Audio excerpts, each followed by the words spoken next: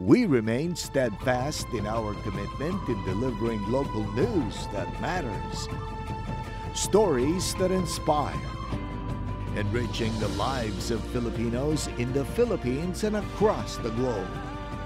This is your GMA Regional TV. Buong puso para sa Pilipino.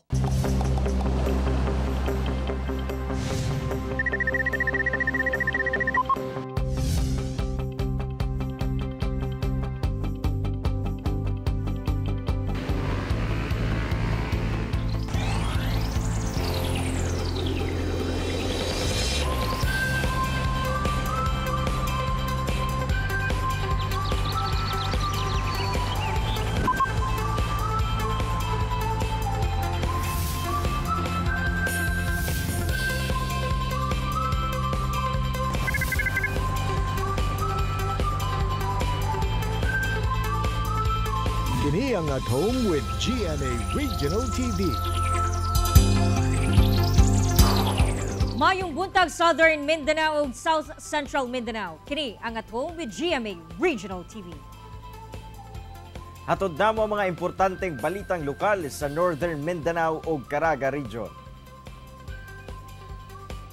Kini ang pinakahalapad nga pagbalita gikan sa Western Mindanao. Ani ana ang mga unang balita.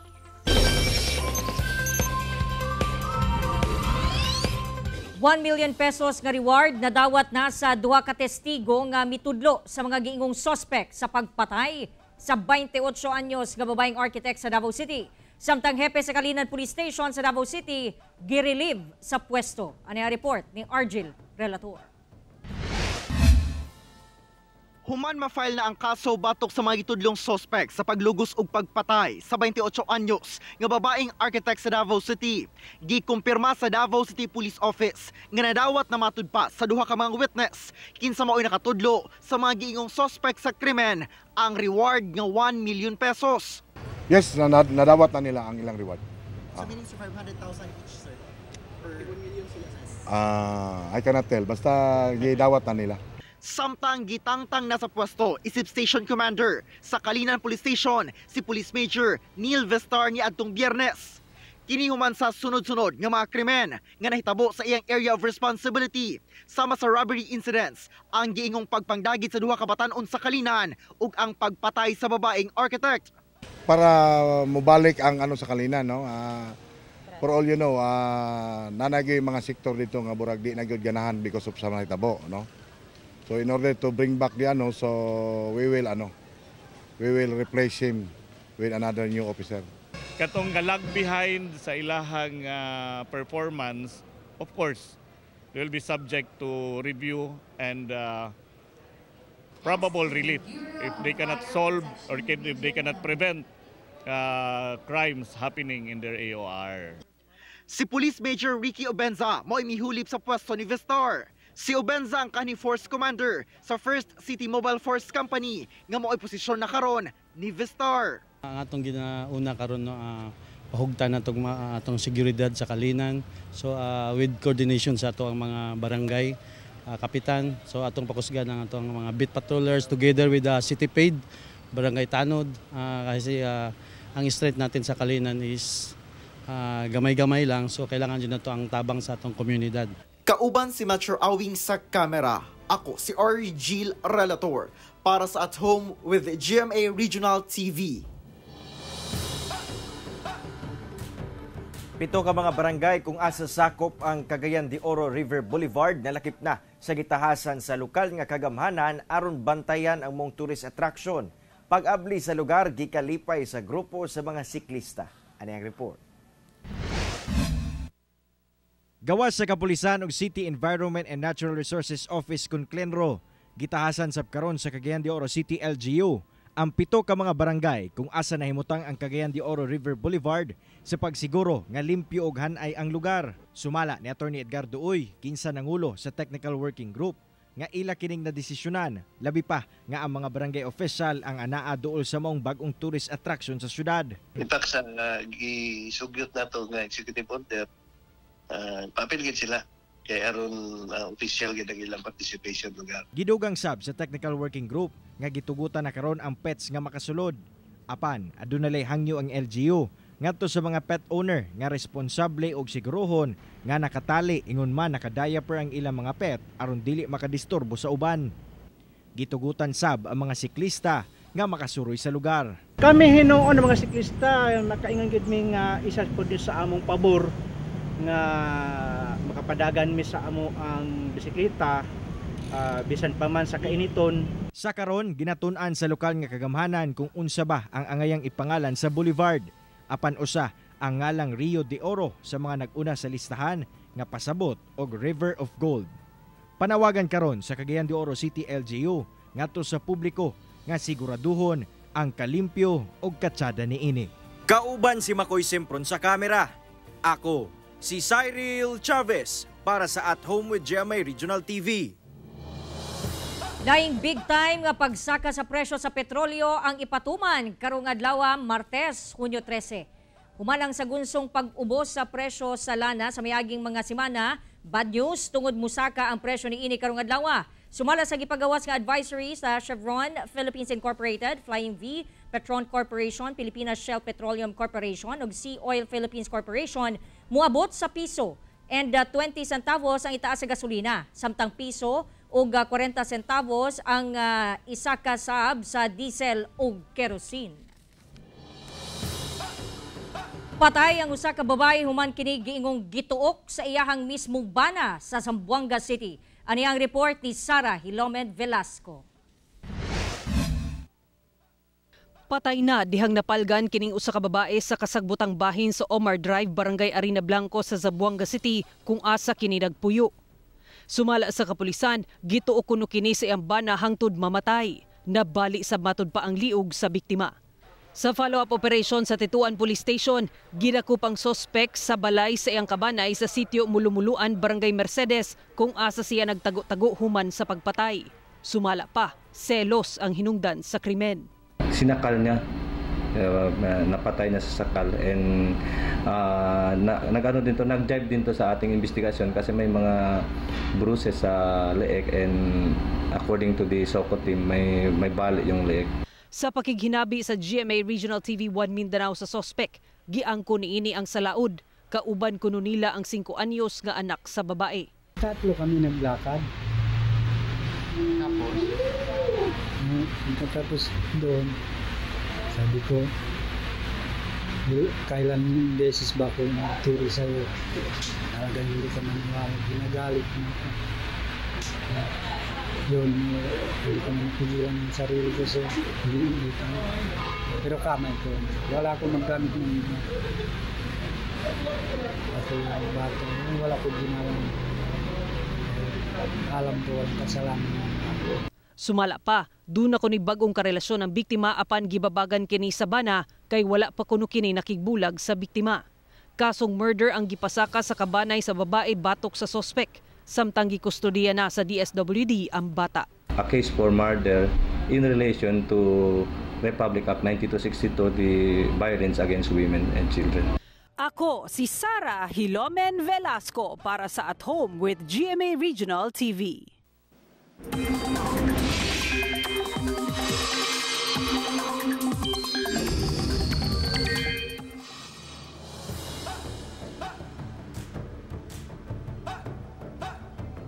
Mga kapuso, magdala og payong ubang panagang sa ulan una mo gawas sa inyong balay padulong sa trabaho o eskwela tungod makasinati kita og pag-ulan karong adlaw. Base sa rainfall forecast sa Metro Weather, lauman ang pag-ulan karong buntag pa lamang sa pipila ka lugar sa Zamboanga Peninsula, Socsargen Region ug Basilan. Magpadayon ka na nga dagan sa panahon hangtod unyang hapon ug gabii ug apektado na ang ubang parte sa Mindanao. Posible ang mga kusog na pag-ulan hinungdan nga mag-igmat sa posibleng pagbaha ug landslide. Sumala sa pag-asa, habagat ang magpaulan sa pipila ka lugar sa nasod, partikular na sa Luzon. Lauman sab ang localized thunderstorms. Kini ang at home with GMA Regional TV.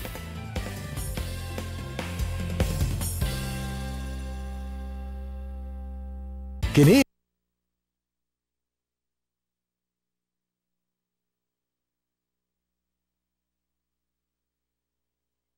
Kini ang At Home with GMA Regional TV.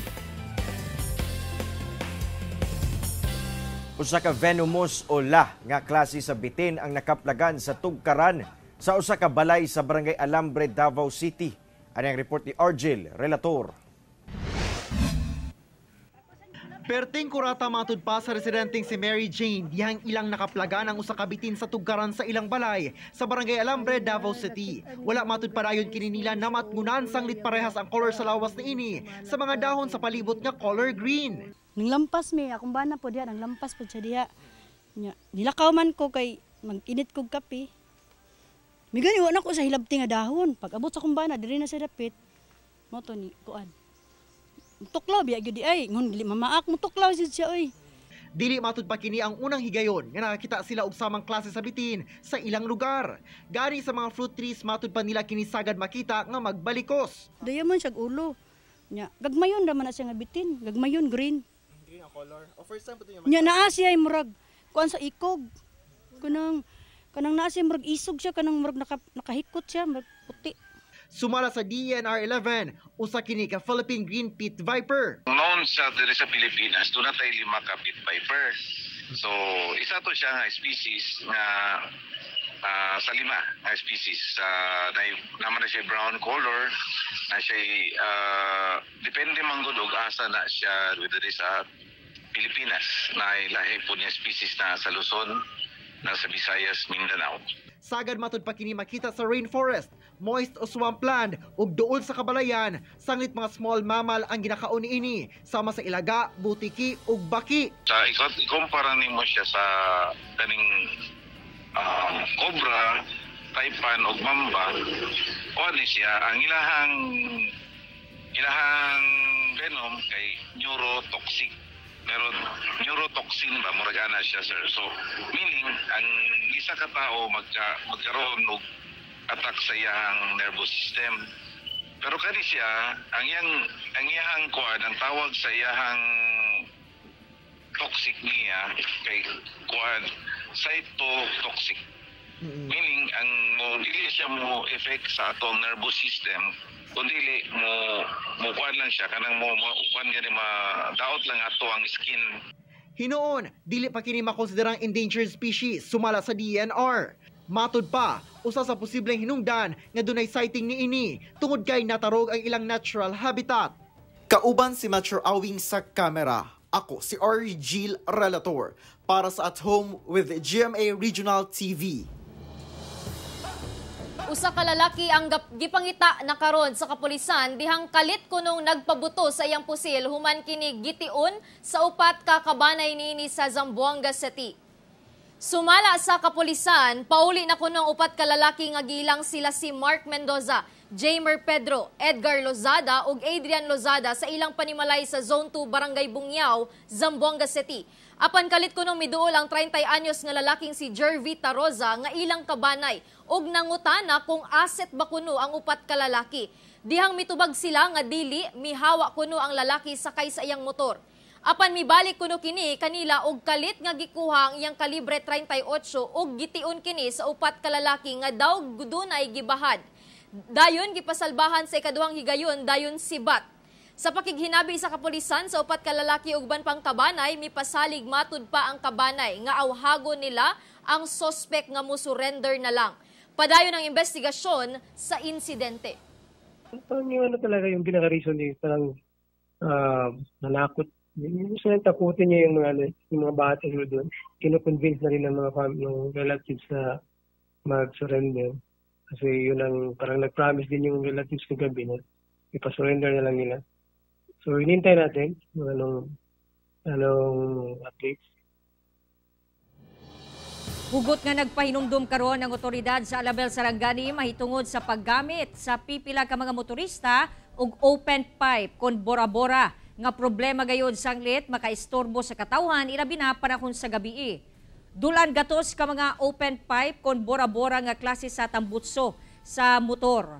Ang uh, gipangguba sa otoridad sa Alabel Sarangani pinaagi sa pagpaligis niini sa pison aron dili na mapuslan pa. Ang mao mga tambutso na kumpiska karong tuiga Ilawom sa ordinansa nga mao ang anti-modified muffler and open tail pipes, mamultahan og 500 pesos hangtod 1,500 pesos ang mga magmasinupakon. Gawas niya na posible sab nga mupailawom sa community service sulod sa upat ka oras kung ikapila na kahigayon nga madakpan sa mong violation ng usa ka motorista. Giauhag na sab sa Arabel LGU ang tanang barangay sa lungsod nga muhimo og lakang batok problema sa Bora-Bora ug ang pagsita sa mga motorista nga nagagamit niini makahatag po og disturbo sa katawan lalo na kung sa gabi eh, nga nahinanok sila og tulog unya bigla lang nimo agi ning mga open pipe nga mga flare nya saba ba kay ni mo nga ginadakop nato ni sila Kini ang at home with GMA Regional TV.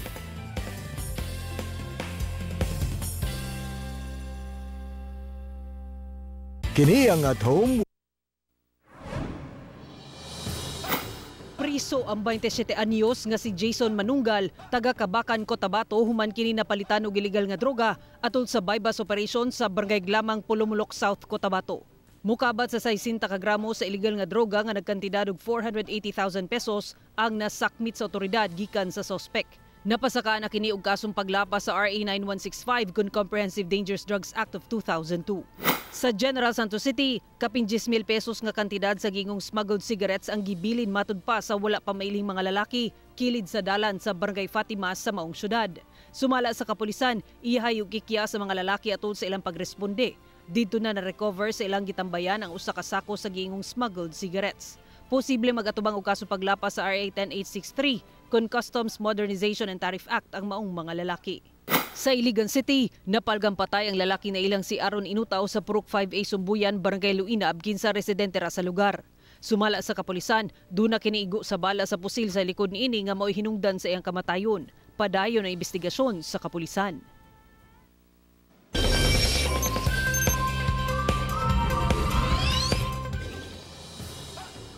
Hailstones nga na sa 5 centimeters ang diameter ang nasinati sa Jiangsu province sa China. Ang hailstorms ang nasinati sa pipila ka distrito sa nasod China niadtong Sabado kini gumikan sa dili maayong panahon. Ang ilang gikatingad-an nga kadagko sa hailstones nga ana sa 5 centimeters ang diameter ang nasinati niadtong tungura.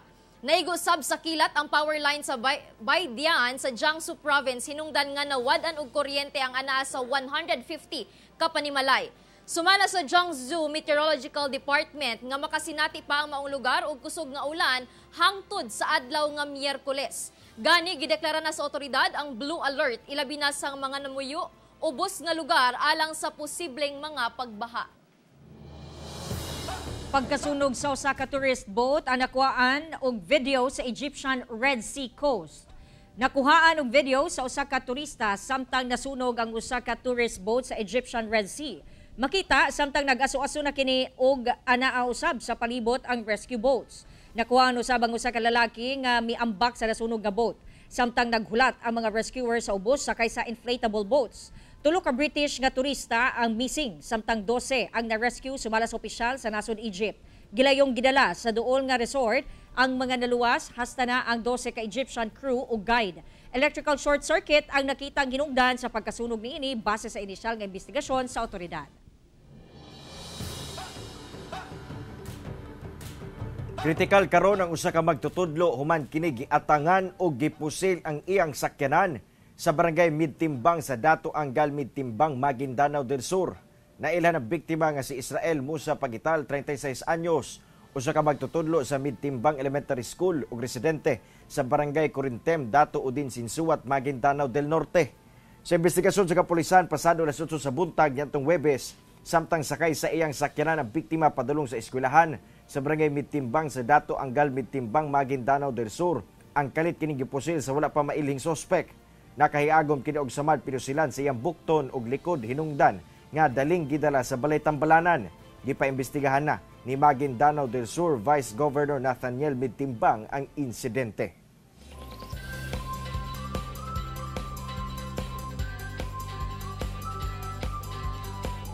Pipila ka mga ginikanan nga dunay mga batang nagatrabaho gihatagan og livelihood kits. Samtang sweldo sa mga tupad beneficiary gi-release atol sa Kalayaan Job Fair sa Dole 12. Kapin 40 ka mga ginikanan ang gihatagan og livelihood starter kit sama sa ice cream maker, halo-halo, bakery ug barbecue livelihood project ug uban pa. Kiniubos sa Batang Malaya Child Labor Prevention Program sa Dole 12. Matod sa Department of Labor and Employment, sagad sa mga industriya nga adunay mga bata nga nagatrabaho mao ang fishing industry ug uban pa. Busa, malaumon ang ahensya nga pinaagi sa maong livelihood project. Wala na mga bata pa nga dili makaeskwela kay kinahanglang magtrabaho. Samtang atol sab sa job fair, gipahigayon ang pag-release sa sweldo sa mga tupad workers sa General Santos City. Kung diin ana sa 626 ka mga beneficiary ang nakadawat sa ilang sweldo. Ano, ice cream ako ah. Dako kayo tabang sir eh. Samot na sa dagdag sa muang pangabuyan ba? And that would in exchange na hindi na magtatrabaho yung kanilang mga anak. And we are hoping that the yung ating mga livelihood assistance ay magbibigay ng gabay at ng kinabukasan nila na magbago at hindi na sila maghihirap. Nagnegatibo sa African swine fever ang resulta sa blood test sa unang batch sa Sentinel Pigs nga gihatag ngadto sa mga lugar nga apektado kaniadto sa ASF sa Zamboanga City. Ani ang report ni Sara Hilomen Velasco. Nagnegatibo sa African swine fever ang resulta sa blood test nga gikuha sa unang batch sa Sentinel Pigs nga gihatag sa Department of Agriculture Region 9 ngadto sa mga lugar nga apektado kaniadto sa ASF sa Zamboanga City. The first batch uh, nakolekta na natin yung mga dugo no. And we have the result from the General Santos um, indicating that the virus is not present anymore. So negative so for ASF. Gihulat na lang nga makumpleto ang 40 days sa second batch sa mga Sentinel Pigs sa June 13 ug 14 una kuhaan og blood sample. Matod sa Zamboanga City Veterinarian's Office, nang hinaot sila nga negatibo sab kini kay sa ilang monitoring walay sintomas sa ASF ang maong Sentinel Pigs. Doon na lang kunoy duha ka Sentinel Pigs nga namatay apan tungod sa snake ug centipede bite. Busa malaumon ang buhatan nga unta mabutang na sa pink zone ang syudad. After na mga results natin na negative na siya, uh, the city will apply for reclassification of the per color. So hopefully we will be granted to a pink status. Kung ubos na sa pink classification ang Zamboanga City, mamahimo nang mag-alaga og baboy ang mga backyard hog racer. Apan kinahanglang ipatuman ang hugot nga biosecurity. May 2022 dihang gipailawom sa red zone ang Zamboanga City tungod sa mga kumpirmadong kaso sa ESF sa pipila ka barangay sa syudad. Ako si Sara Hilomen Velasco para sa At Home with GMA Regional TV. Mga kapuso, makita pagbalik ang atong episode, pinaagi sa pagbisita sa www.gmaregionaltv.com. Gayaw kalimot ka mag-subscribe sa atong official YouTube channel sa GMA Regional TV. Mga kapuso, mag-isayad sa mga balita tungod Local News Matters. Ako si Cyril Chavez. Hangtod ugma puhon, kini si Krisa Dapitan. See you tomorrow, mga kapuso. Padayon sa paglambo og taliwala sa kalisod, laban lang. Ako si John D. Esteban, buong puso para sa Pilipino.